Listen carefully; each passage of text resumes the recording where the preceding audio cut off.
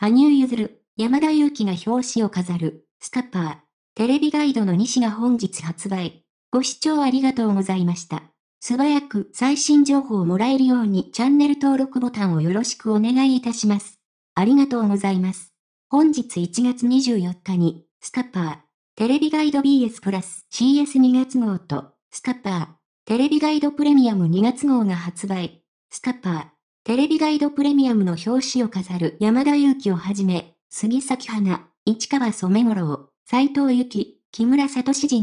山中や原太郎らのインタビューを西ともに掲載する。また、羽生結弦アイスショープロローグ、in 八戸の特集も必見だ。数々の記録と記憶に残る演技を見せてきたフィギュアスケーター羽生結弦。今回は、八戸で開催されたアイスショー、プロローグ、公演初日を、テレ朝チャンネル2でテレビ初放送。プロ転向後も挑戦を続けるハブの新しい世界を目にすることができる。2月17日公開の劇場アニメ、ブルージャイアントで、世界一のジャズプレイヤーを目指す主人公、宮本大の声を担当する山田。数年前に、めったに書かない漫画の感想を SNS に投稿したほど刺さったという原作のアニメ化で、第二魂を吹き込むことになった。縁について、そして間宮祥太郎と岡山天音との共演やアフレコの話などを語ってくれた。突然撮影が休みになった俳優たちの一日を描く、早急、シリーズの第4弾となる、連続ドラマダブルマイナス30、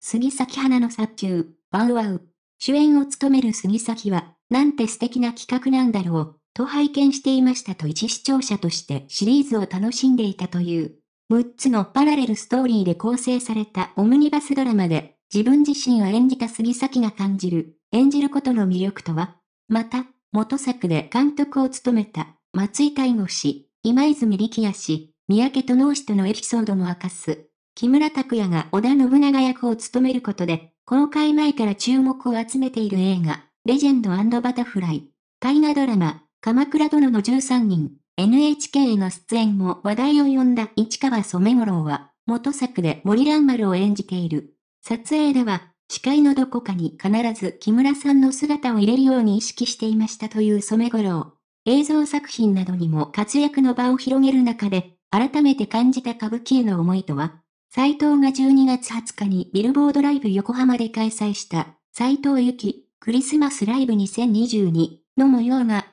ホームドラマチャンネルでテレビ初放送される。女優としての活躍とともに、2021年に歌手デビュー35周年を記念してリリースしたセルフカバーアルバム、水響曲も大きな話題に。近年の歌手活動は不思議なご縁が形を成してきた感覚なんですという斎藤が、今回のライブで披露したセットリストや、自身にとっての歌とは、ケンカップルによるラブストーリーが人気を集める漫画、アメードパラドックスのドラマ化作品でダブル主演を務めた木村と山中。累計発行130万部を超える BL 漫画の金字塔に、共に挑んだ二人は、ダブル主演で本当に良かったですと口を揃える。仕事ドラマとしても楽しめる元作に、二人が込めた思いに迫る。ご視聴ありがとうございました。素早く最新情報をもらえるようにチャンネル登録ボタンをよろしくお願いいたします。ありがとうございます。